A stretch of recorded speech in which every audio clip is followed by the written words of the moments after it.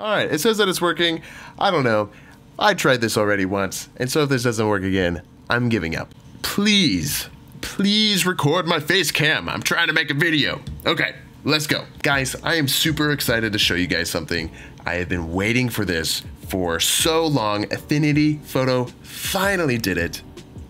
They have fixed my HSL adjustments. I was literally just complaining about this the other day because everybody always asks me, Drue, should I use Photoshop or should I use Affinity Photo? And I'm like, they're pretty much the exact same, but there are a couple things that I do really want on Affinity Photo that they just don't have. And one of those things is HSL adjustments and custom hue ranges. Let me explain. First off, HSL is hue, saturation, and luminance. What that allows us to do is here in the current version of Affinity Photo, it will allow us to go through, choose a certain range of colors, like yellows for example, and change the hue of them to whatever we want, the saturation of that, and the luminance if we would like to make it lighter or darker. Now, the thing that Affinity Photo currently lacks is the ability to do custom hue ranges. You can see how yellows pretty much picked up pretty much everything in the photo. And so if I were wanting to just adjust, just adjust,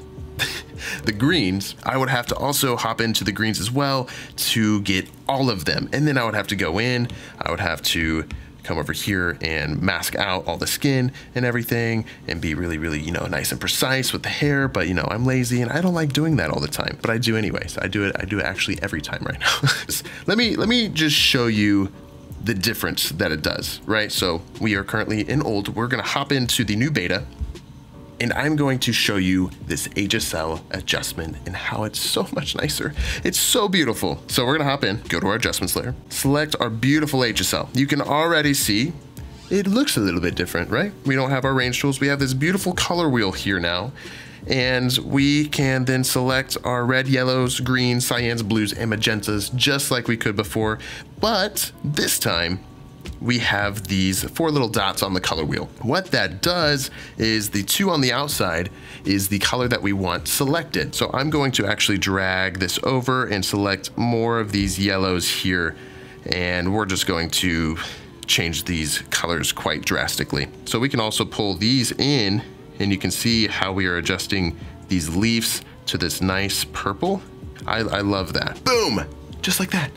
You don't have to do anything else. Look at those purples. They're so freaking, ooh, they're so good. Like if we were to try and do something similar on the current Affinity photo, let me just show you what that's gonna look like compared to this beautiful purple that we just came up with. So we're gonna do an HSL. We're gonna select our greens, 180 degrees, give it a little bit of saturation, and yeah, it's nowhere it's nowhere close. We would have to obviously grab our yellows as well, right? And do the exact same thing. Even then, we're still not getting those purples. Like, I mean, this is purple, but it's not this. It looks so nice. It looks so good. And I cannot wait for this to be like in the current Affinity photo. I am so ready for this. I'm so excited for this. Affinity, I need it now. I'm so, so thrilled that you decided to do this though. So thank you I hope you guys appreciate my appreciation for this this adjustment alone. Everything else looks amazing. The beta's great. Obviously it has its issues. I probably couldn't edit a photo in it currently, but I am excited to go through and check out the new adjustments and everything like that. So I'm super stoked. I need it now. I need it now. Have a wonderful, beautiful day. Edit photos. Be productive. I don't know. But yeah. Peace. Out a so Affinity Photo tweeted out a thing about no. Jeez, get yourself together, soldier.